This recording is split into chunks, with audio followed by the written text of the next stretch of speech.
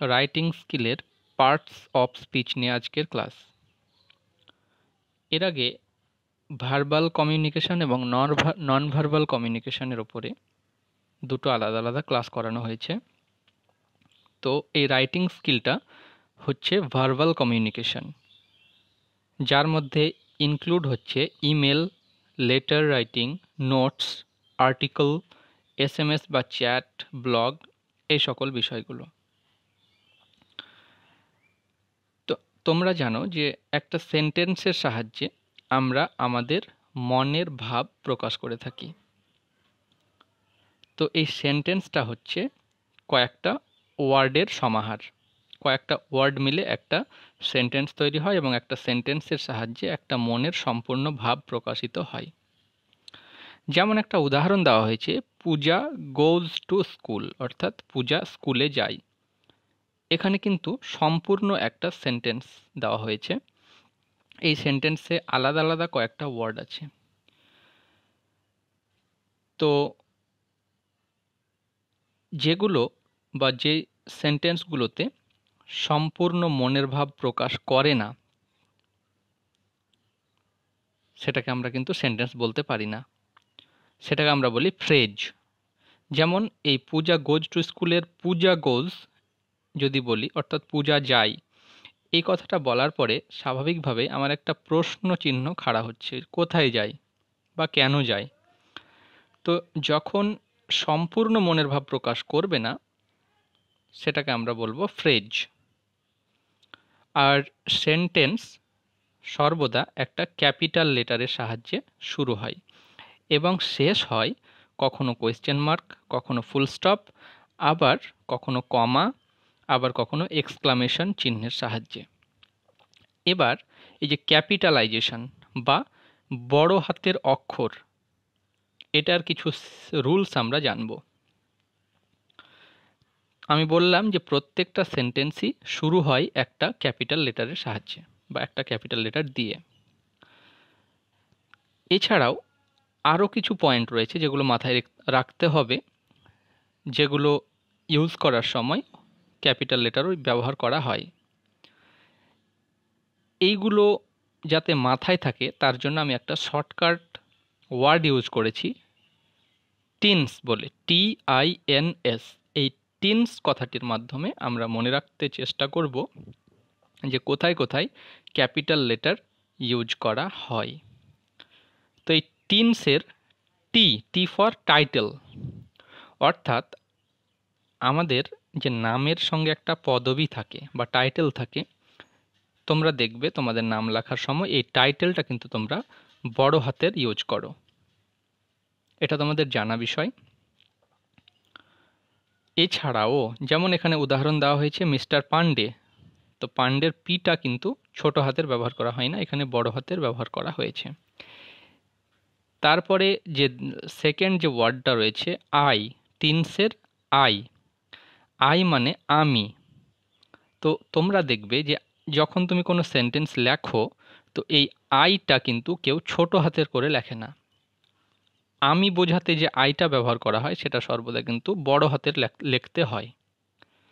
এবার যেটা রয়েছে এন এন বোঝাতে এখানে নেমসের কথা বলা হয়েছে বা নামের কথা বলা হয়েছে।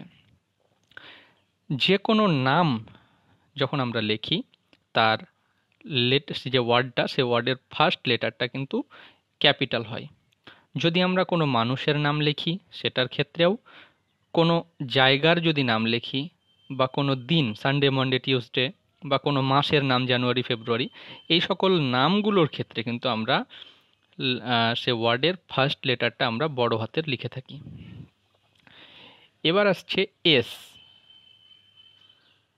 এস সম্বন্ধে অলরেডি বললাম যে যখন কোনো সেন্টেন্স শুরু হয়, সেই সেন্টেন্সের ফার্স্ট যে লেটারটা থাকে ওয়ার্ডের সেই লেটারটা বড় হাতের হয়, অর্থাৎ starting letter of the sentences যেমন দ্য লিটিল গার্ল তাহলে এই যে সেন্টেন্সটা তার ফার্স্ট ওয়ার্ড হচ্ছে দা, এই দায়ের টি যেটা টি টিটা কিন্তু বড় হাতে লেখা হয়েছে। এবার পাংচুয়েশন সম্বন্ধে বলব। পাংচুয়েশন কথাটির বাংলা অর্থ হলো জ্যোতি চিহ্ন অর্থাৎ full stop comma question mark বা এক্সক্লামেশন মার্ক এগুলোকে বলা হয় পাংচুয়েশন ইংলিশে। তো এই পাংচুয়েশন আমাদেরকে কিন্তু সেন্টেন্সে যথাস্থানে ব্যবহার করতে হয়। যদি পাংচুয়েশন ঠিকঠাকভাবে ব্যবহার করা না হয় তাহলে কিন্তু যে মেসেজটা দেওয়া হচ্ছে, যে মনের ভাবটা প্রকাশ করতে চেষ্টা করা হচ্ছে, সেটা কিন্তু ঠিকঠাক নাও হতে পারে, সেটা ক্লিয়ার নাও হতে পারে। তো এবার সেগুলোর একটু ব্যবহার দেখে নেওয়া যাক। ফুল স্টপ ফুল স্টপের চিহ্নটা জানো তোমরা, একটা ডট একটা ডটের মতো ফুল স্টপ হয়। তো ফুল স্টপটা সাধারণত প্রত্যেকটা সেন্টেন্সের লাস্টে ব্যবহার করা হয়।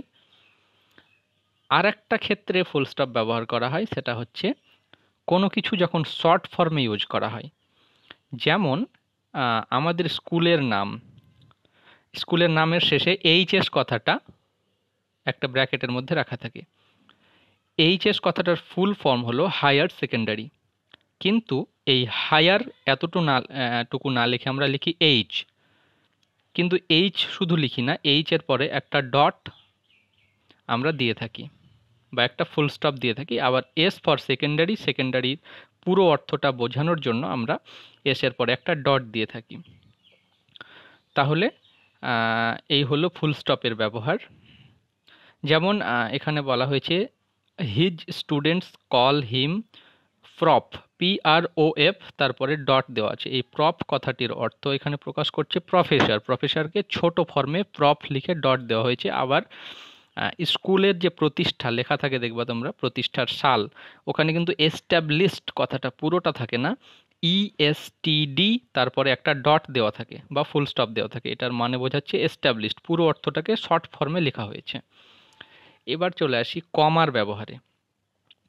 সাধারণত যখন একটা সেন্টেন্স লেখা হয়, তখন মাঝে একটা বিরতির প্রয়োজন হয়।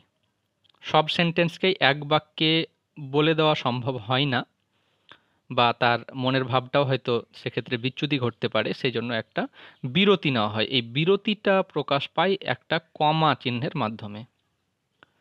যেমন এখানে একটা উদাহরণ দেওয়া হয়েছে after getting down from the bus bus থেকে নামার পরে I walk towards my school আমি আমার স্কুলের দিকে হাঁটতে শুরু করলাম।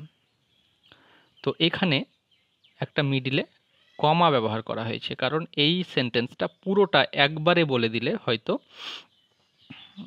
মনের ভাবটার একটু বিচ্যুতি ঘটতে পারত। তাই সুন্দর করে দুটো ফরম্যাটে এটাকে ভাগ করা হয়েছে। এবার আসছি কোয়েশ্চেন মার্কে কোয়েশ্চেন মার্কের চিহ্নটা তোমরা জানো। তো এই কোয়েশ্চেন মার্ক সাধারণত ব্যবহার করা হয় কোনো কিছু জিজ্ঞাসা করার পারপাসে তো এই কোয়েশ্চেন মার্ক সদা সর্বদা একটা সেন্টেন্সের লাস্টেই থাকে। যেমন একটা উদাহরণ দেওয়া আছে হোয়ার ইজ ইয়োর বুক তোমার বইটি কোথায় রয়েছে? তারপরে কোয়েশ্চেন মার্ক দেওয়া রয়েছে। এবার আসছি এক্সক্লামেশন মার্ক অর্থাৎ বিস্ময় সূচক চিহ্ন। এটা সাধারণত একটা দাঁড়ি, যে আমরা বাংলায় দাঁড়ি লিখি, দাঁড়ির নিচে একটা ডট থাকে। এটাও কিন্তু একটা সেন্টেন্সের লাস্টে ব্যবহার করা হয়, যখন আমরা আমাদের আবেগ বা অনুভূতি প্রকাশ করি তখন এই এক্সক্লামেশন মার্কের ব্যবহার করা হয়। যেমন একটা উদাহরণ দেওয়া হয়েছে হোয়াট আ বিউটিফুল ড্রেস বাহ, তোমার ড্রেসটা কত সুন্দর। আমরা আবির্ভূত হচ্ছি, বিস্ময় বিস্ময় হচ্ছি ড্রেসটা দেখে। তার জন্য এখানে একটা এক্সক্লামেশন মার্ক ইউজ করা হয়েছে। এবার আসছি অ্যাপস্ট্রফিতে তোমরা ইংলিশে অ্যাপোস্ট্রফির ব্যবহার দেখেছ যে, যেমন কমা ব্যবহার করা হয়, এই টাইপের একটা চিহ্ন যখন একটা ওয়ার্ডের মাথার দিকে, উপর দিকে ব্যবহার করা হয়, তারপরে একটা এস লাগানো হয়। অর্থাৎ কোনো কারও একটা প্রপার্টির অধিকার রয়েছে, সেটা বোঝাতে সাধারণত এই এস অ্যাপোস্ট্রফি এসটা ব্যবহার করা হয়। যেমন এখানে উদাহরণ দেওয়া হয়েছে দ্যাট ইজ শোভাজ ক্যাট অর্থাৎ এটা হচ্ছে শোভার বিড়াল। এই হচ্ছে অ্যাপোস্ট্রফির ব্যবহার। এবার পার্টস অফ স্পিচের কিছু বেসিক জিনিস জেনে নেওয়া যাক। পার্টস অফ স্পিচ সাধারণত কোনো একটা পার্টিকুলার ওয়ার্ডের যে ফাংশন সেটাকে জানার জন্যই আমরা এটার স্টাডি করে থাকি। যদিও তোমরা পার্টস অফ স্পিচ সম্বন্ধে অনেক স্টাডি করেছ বলে আমার মনে হয় আগের ক্লাসগুলোতে মানে তোমার এইট নাইন এসব ক্লাসগুলোতে তো এখানে একটু জাস্ট হালকা টাচ দেওয়া হয়েছে। এখানে পার্টস অফ স্পিচের যেগুলো মেন ফর্ম সেগুলো হচ্ছে noun pronoun adjective verb adverb এগুলো হচ্ছে মেন পার্টস অফ স্পিচ এছাড়াও কিছু আরও রয়েছে যেগুলো তোমার মেন পার্টগুলোকে হেল্প করে থাকে। তো নাউন নাউনকে যদি আমি সোজা বাংলায় বলি, তাহলে বলা যায় যে আমরা আমাদের চোখের সামনে যাই দেখতে পাই, সেটাই হলো নাউন কেন কথাটা বললাম? আমি চোখের সামনে যাই দেখতে পাই, যে বস্তুটাই দেখতে পাই, সে বস্তুটারই কিন্তু একটা নাম রয়েছে। তাহলে যদি কোনো কিছুর নাম বোঝায়, তাহলে তো সেটা নাউন তাহলে শর্ট ফর্মে আমি চোখের সামনে যাই দেখতে পাই, সেটাই হচ্ছে নাউন তো নাউন সাধারণত কোনো নাম সেটা হতে পারে কোনো জায়গার নাম, কোনো পশু পাখির নাম, কোনো বস্তুর নাম, কোনো ব্যক্তির নাম। অর্থাৎ নাম প্রকাশ করলে আমরা তাকে বলব নাউন এবার আসি প্রোনাউনে কোনো ব্যক্তির নামের পরিবর্তে যদি হি সি ইউ আই এই সকল ওয়ার্ডগুলো ব্যবহার করা হয়, তাহলে আমরা তাকে বলব প্রোনাউন যখন আমরা কোনো ব্যক্তি সম্বন্ধে কিছু লিখতে যাই তখন একটা মানুষের নামকে আমরা বারবার লিখি না কিন্তু। তার পরিবর্তে হি বা সি এই কথাগুলো ব্যবহার করি। এবার চলে আসি অ্যাডজেক্টিভে। যখন নাউন প্রোনাউনের কিছু দোষ ত্রুটি তুলে ধরা হয় যে ওয়ার্ডের সাহায্যে, তখন আমরা তাকে বলি অ্যাডজেক্টিভ। যেমন কোনো কিছু একটা খাবারের নাম বলা হয়েছে। তাহলে সেটা নাউন। তো সেই খাবারটা লবণাক্ত হয়ে গেছে কিংবা মশলাদার হয়ে গেছে। এই জিনিসটা যে আমরা প্রকাশ করছি একটা ওয়ার্ডের সাহায্যে সল্টি স্পাইসি বা কখনো গুড কখনো ব্যাড টল স্মল এই সকল ওয়ার্ডগুলো কে আমরা বলে থাকি অ্যাডজেক্টিভ ভার্বের নামটা তোমরা খুব ভালো করেই জানো। ভার্ব বলতে কোনো কিছু করা, কোনো কোনো কিছু কাজ করা বোঝায়। সেটা হাঁটা হতে পারে, কথা বলা হতে পারে, পড়া হতে পারে, অনেক কিছু হতে পারে। এবার এই ভার্বটা কীভাবে হয়? যে কাজটা হচ্ছে সেটা কীভাবে হচ্ছে? সেটা খুব দ্রুত হচ্ছে না খুব আস্তে হচ্ছে? এই ধরনের যে ওয়ার্ডের সাহায্যে এটা যে ভার্বের যে মিনিংটা প্রকাশ পায় সেটাকে আমরা বলে থাকি অ্যাডভার্ব। এবার আরেকটু ডিটেলসে দেখে নেওয়া যাক। নাউন সম্বন্ধে বললাম যে, এটা হচ্ছে কোনো নাম নেমিং ওয়ার্ড বা কোনো নাম। এখানে কিছু উদাহরণ দেওয়া রয়েছে। সেটা কোনো প্রাণীর নাম দেওয়া রয়েছে, কখনো দেশের নাম দেওয়া রয়েছে, কখনো মাসের নাম দেওয়া রয়েছে, এগুলো হচ্ছে নাম বা নাউন প্রোনাউন বললাম যে, নামের পরিবর্তে ব্যবহৃত হয়। সেটা আই হতে পারে, সেটা ইউ হতে পারে, সেটা দে হতে পারে আস হতে পারে হি হতে পারে সি হতে পারে, এগুলোই। অ্যাডজেক্টিভ মানে বললাম, যেটা নাউন এবং প্রোনাউনের দোষ ত্রুটি তুলে ধরে সেটা হচ্ছে অ্যাডজেক্টিভ। এখানে কিছু উদাহরণ দেওয়া রয়েছে লার্জ মানে বড়। এখানে হয়তো কোনো কিছু সম্পর্কে বড় বা ছোট এই কথাটা বলা হয়েছে, তাই লার্জ বা রেড বা উইক এগুলো হচ্ছে এক একটা অ্যাডজেক্টিভের উদাহরণ। ভার্ব সম্বন্ধে বললাম যে কিছু কাজ করা বোঝায়। সেটা হতে পারে রান হতে পারে ইট হতে পারে থিঙ্ক হতে পারে সিট অ্যাডভার্ব সম্বন্ধে বললাম যে, যেটা ভার্ব সম্পর্কে কোনো ইশারা দেয়, সেটাই হচ্ছে অ্যাডভার্ব অ্যাডভার্ব এই ওয়ার্ডটা একটা সেন্টেন্সের মধ্যে বের করার একটা রাস্তা আছে, যদিও সেটা একশো পার্সেন্ট জায়গাতে অ্যাপ্লিকেবল নয়।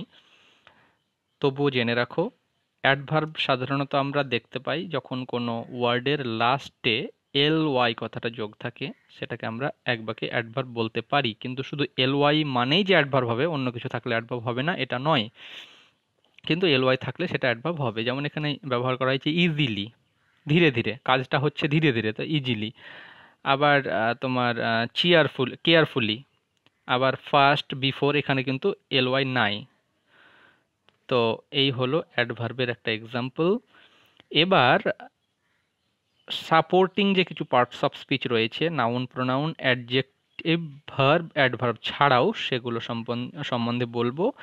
যেমন রয়েছে আরও কিছু পার্টস অফ স্পিচ যাদেরকে বলা হচ্ছে আর্টিকল যেমন বলা হচ্ছে কনজাংশন যেমন বলা হচ্ছে প্রিপোজিশন বা ইন্টারজেকশন প্রথমে দেখে নিই আর্টিকেল কী জিনিস? সাধারণত এ অ্যান আর দা এই তিনটা ওয়ার্ডকে একত্রে বলা হয় আর্টিকল। তো, এ অ্যান ব্যবহার কোথায় করা হয় তোমরা জানো অলরেডি এ ব্যবহার করা হয় কনসোনেন্টের ক্ষেত্রে আর অ্যান ব্যবহার করা হয় ভাওয়েলের ক্ষেত্রে বা ভাউল ভাওয়েল সাউন্ডের ক্ষেত্রে। কোনো পার্টিকুলার বস্তুর কথা বলা হলে দা এ কথাটা ব্যবহার করা হয়।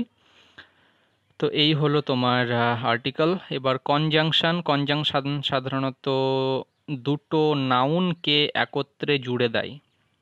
সেটাকে বলা হচ্ছে কনজাংশন কিছু কনজাংশনের উদাহরণ হলো অ্যান্ড এবং। দুটো আলাদা আলাদা ওয়ার্ড এটা এবং এটা। তো অ্যান্ড কথাটা মিডিলে রেখে দুটোকে যোগ করে দেওয়া হয়। আবার আরও কিছু উদাহরণ রয়েছে, যেমন বাট বিকজ এগুলো। প্রিপোজিশন অর্থাৎ কোনো কিছুরই পজিশানের আগে বসবে। অর্থাৎ কোনো কিছু বিশেষ ওয়ার্ডের আগে যে ওয়ার্ডটা ব্যবহার করা হবে সেটাকে বলা হয় প্রিপোজিশন কিছু উদাহরণ দেওয়া রয়েছে এখানে, যেমন অন ওভার ইন আন্ডার এইগুলোর হচ্ছে প্রিপোজিশনের এক একটা উদাহরণ। ইন্টারজেকশান সাধারণত এক্সক্লামেশন মার্ক যখন আমরা ব্যবহার করব, কোনো ওয়ার্ড ব্যবহার করব তো সেই সময় আমরা ইন্টারজেকশানের একটা হেল্প নিয়ে থাকি। যেমন উদাহরণ দেওয়া হয়েছে এখানে, ওয়াও তারপরে একটা জ্যোতি তোমার বিস্ময়সূচক চিহ্ন, হেল্প এই ধরনের ওয়ার্ডগুলোর পরে একটা বিস্ময়সূচক চিহ্ন দেওয়া রয়েছে। তো আজকের ক্লাস এ পর্যন্তই।